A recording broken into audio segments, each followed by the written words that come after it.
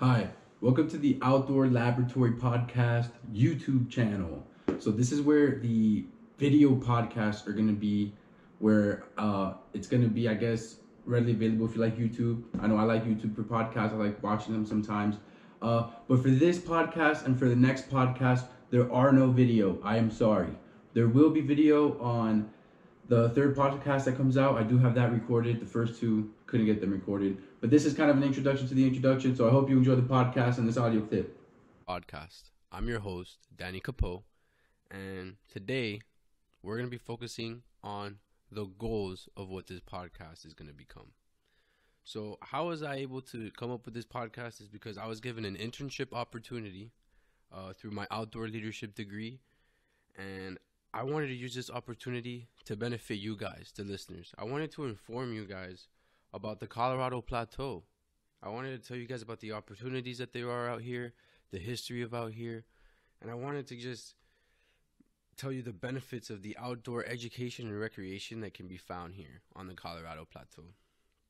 Now, in this series of podcasts, we will be covering the Colorado Plateau specifically.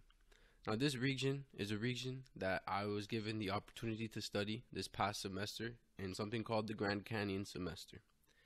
Now, that was through uh, Northern Arizona University and through the National Collegiate Honors Council. And I'm happy to say that this semester was a very transformative experience. It was it was a place where I was able to to really dive into the depths of who I was and also into the depths of the Grand Canyon. I was able to to personalize a landscape and really learn from it as a text. You know, that's one of, one of one of the activities that we would do is the Grand Canyon as text. We would go to places and try to learn from the landscape, and it's so easy or so normal for us to to learn from words in a book, but not learn from the landscape around us and, and from this from this environment that we've been blessed to have. And I want I want to to inspire my listeners to go out and have these experiences, have these transformative experiences. And some of the series that we're going to be talking about and some of the topics are going to include what are transformative experiences and how how are they created? And that's the thing called flow state. We're going to be covering flow state and and looking into that, looking into the research about that and the benefits of that. We're also going to be diving into how the Colorado Plateau is an outdoor laboratory.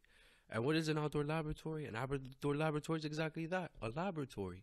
You go and you conduct experiments. And these experience, experiments are experiential experiments that you can go do by yourself. And these experiential experiments are things like hiking, things like rafting, things that get you out of your comfort zone, that let you test the variables of your life. That's what these, this outdoor laboratory potential is in the Colorado Plateau. And this is a potential that you can find anywhere around you.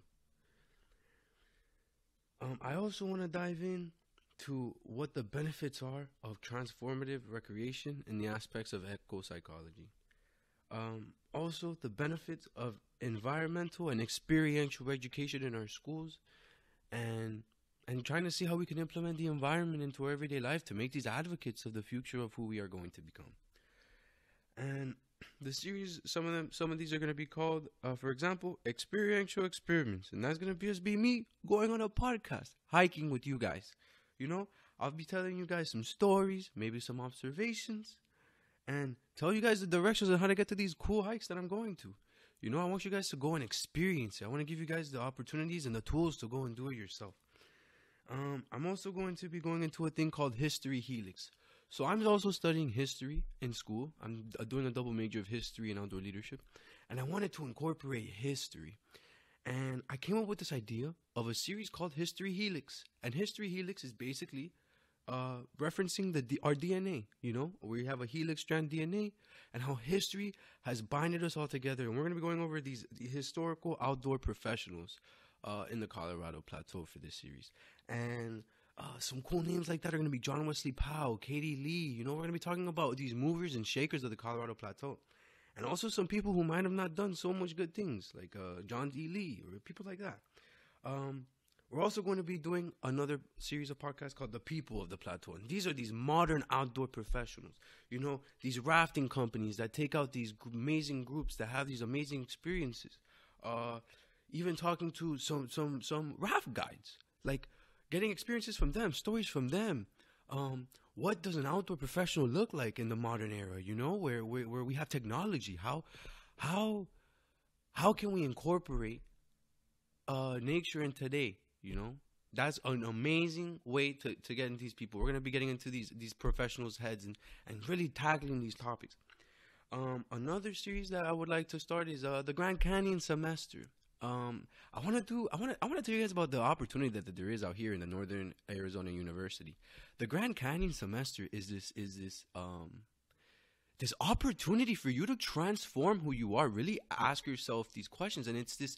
This semester that's been around for a long time, and it's impacted so many people. And I want to go find these people. Like I was. I, I, I was impacted. How are you impacted? Like is this is this this awesome opportunity? Like this is something that everyone needs to know about at least have the opportunity to go on and, and do it, you know? And I want you guys to hear about these experiences. So I'm going to be talking to my fellow uh, classmates from this past semester, um, some other uh, participants from past uh, semesters, and really getting their input, really asking them, hey, like, how is this a transformative experience for you?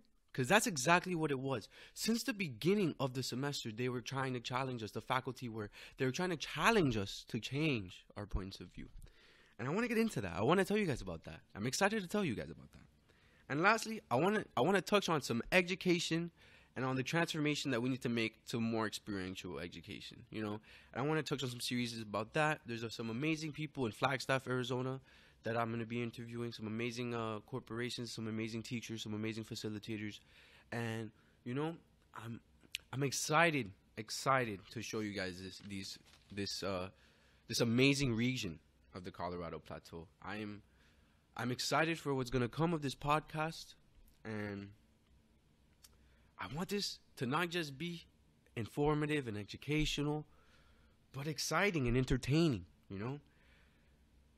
The stories and these adventures that you, I'm going to share with you guys and and these awesome people, I hope can only motivate you to go out and have your own experiences. Go out and experience it for yourself. Because if you don't go and experience it for yourself, all this is is gonna be another podcast. So go out there and you know transform yourself. Go and have these experiences that that you can really challenge yourself and get uncomfortable. That's the that's the key. Get uncomfortable. That's how you change. That's how you transform. Is getting uncomfortable. And for the remaining of this podcast, I kind of want to introduce you guys to your host, Danny Capo. Uh, um, I wanted to let you guys know about who I am. Uh, well, I was born in Miami, Florida. Uh, I've been on the East Coast my whole life. I never really got out of Miami, Florida until I gra- uh, graduated high school and I went to college in Tennessee. And that was the first time I saw the, the Smoky Mountains. I mean, I had been outside before. I went on hikes. I, I love the outdoors. Uh, I would go to the Everglades, things like that. But there weren't these vast landscapes. You know, Florida's flat. Florida's a flat place, and I love Florida. I love Florida. I I, I'm not dogging on Florida. I love Florida but it's just like it's flat. I mean, you can canoe. I love canoeing, you know, but I was able to go to these mountains and I was able to go on these hikes, these adventures, and that's what they really were like expeditions. They were adventures, and I was able to. Since I'm studying outdoor leadership, I was able to go on on some amazing trips. Really, I was able to to do a around a 20 mile hike my first time.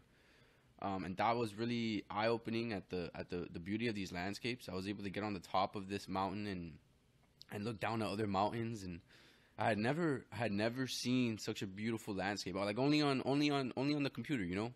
I had never really been able to get out of that that that flatness. You know, I was able to get up on something and look over, and it was amazing. It was really it. it I mean, it got me motivated to study outdoor leadership, and I think because of that trip, I I gained some some knowledge of what I had to learn and what I had to do. And because of this degree, I've been able to go on other adventures like uh, this spring break. Not this, yeah, this past spring break. I went to um, Mexico and I climbed three mountains. We did uh, Malinche, Ixtaccíhuatl, and Orizaba. And Orizaba was an 18,000 plus foot mountain, you know, like that's that's high up there. And I'm from Miami. Like I've never been past sea level really, other than four thousand feet in Tennessee. You know, like I wasn't really. I never been up that high in that high altitude, and it was, it was crazy to see my body react to it, and it was an amazing experience really for my mind. because I was I was really challenged on that trip, and that was my first, um, I would say, um, expedition where I, my life was in danger too. Like it was a it was an amazing trip, and it was an amazing thing. But like the the physical activities that we were doing, like up on this mountain, like crevasses. You know, it was a very tech. It wasn't. It was a technical a technical place. We had to go through a place called the labyrinth.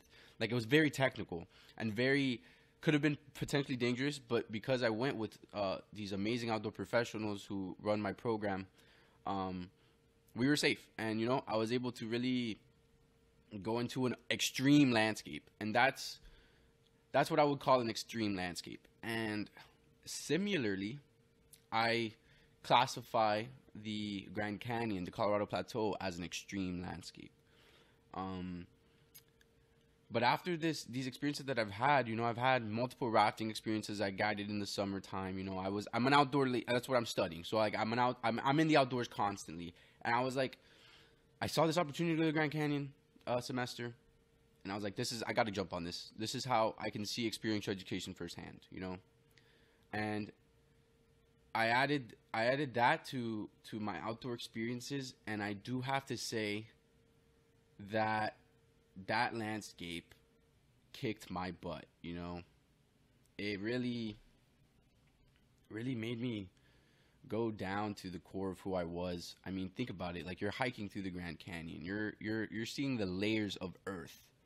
Like you're going through the history of earth and in the same time I felt kind of like this semester made me go into the history of myself and and and come to terms with who I am so far in my life. I mean, I'm only 20 years old.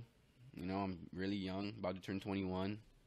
But it's important to have these these uh these experiences early on too. I think, and I'm I'm really happy I was given the opportunity through my school, through the National Collegiate Honor Society. I'm happy that the faculty at Northern Arizona University are such professionals and such amazing people, really, who personalized this landscape and gave it a name. You know, gave it a gave it a relationship. That's what they did. They gave me a relationship with the landscape and this relationship is something that I wanna I want to share with you guys. And that's what I hope this podcast is. I want you guys to get to know me, get to know the landscape, and get to know the the ways to have these experiences and the the the tools needed and to go and have these experiences yourself. I think that's the main thing I want to get across is that these experiences that you guys are going to see me go on or that you're going to hear about that I've had or that other people have had on the Colorado Plateau, plateau, these are experiences that you can have. These are all experiences that you can have.